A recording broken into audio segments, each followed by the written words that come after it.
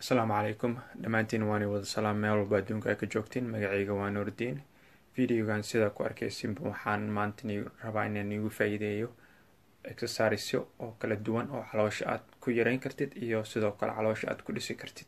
Maxaa yeelay exerciska noocan wuxuu ku sahlayaa haddaad regime ahayn inaad guriga ku suubin kartid. Muxuu ah calooshana kaaga yaraanayso.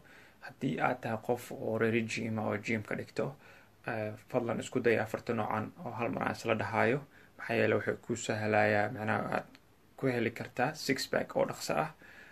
Muxuu ahaa marka afarta sad muxuu afarta nooc oo hal mar ayaan isla dhahayaa sadka koowaad.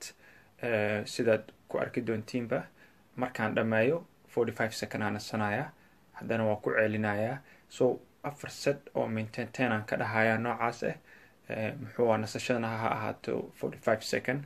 Haddana hore kaga celi muxuu ah exercise iyada kala duwan oo macnaha oo noocan afarta waxaan is leeyahay. Aad bay caloosha muhiim ugu tahay. Qofka hadduu rabo inuu calooshiisa horumar u kaga gaaro. Waqti badanna ma gelinaysid. Muxuu ahaa waqti oo macnaha ten fifteen minute twenty minute kaama qaadana kaama qaadanayso waqtigaada.